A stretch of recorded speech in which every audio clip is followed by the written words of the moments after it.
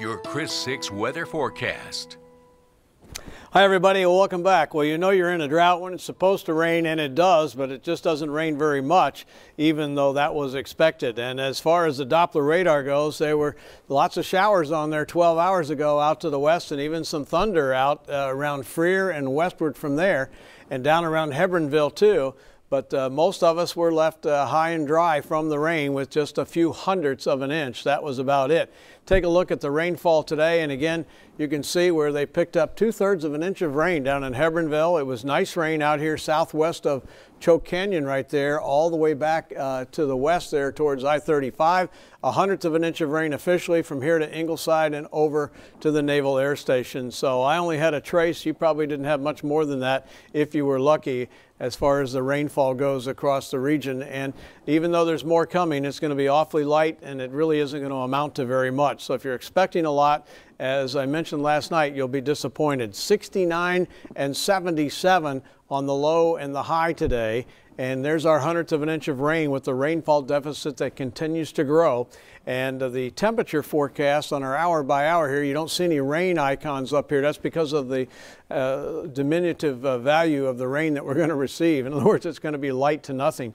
And uh, then we'll see temperatures dropping into the upper 50s by morning. This will be nice. It'll be a little bit on the cool side before that ends.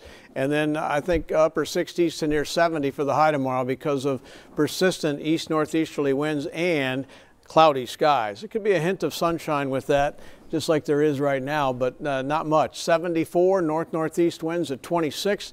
They gusted to 40 earlier today, and uh, temperatures are all in the 70s across the region from uh, coast to inland and north to south across the coastal bend. And again, that hour by hour forecast uh, keeps us on the cool side.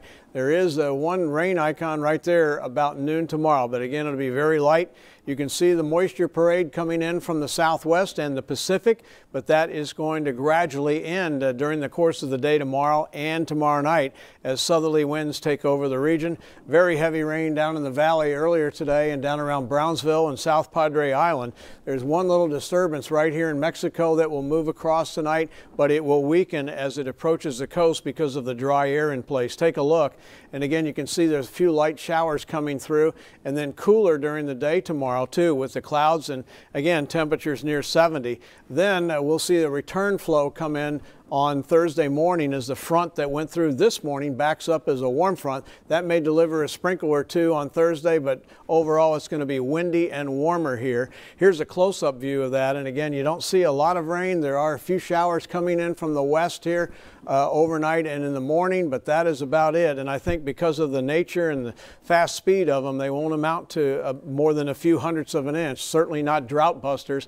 And then here's that moisture coming in from the south. And again, you can just see a brief sprinkle here on Thursday. So rainfall amounts, again, they're going to add up to a few hundredths of an inch uh, in the places that are lucky enough to see rainfall, uh, but not very much. And that'll be, uh, here's the uh, rainfall opportunity, which is few to isolated for tomorrow. And uh, then for Thursday, there'll be few to isolated as well uh, across the region. All right, let's take a look at the seven day forecast. Here it is.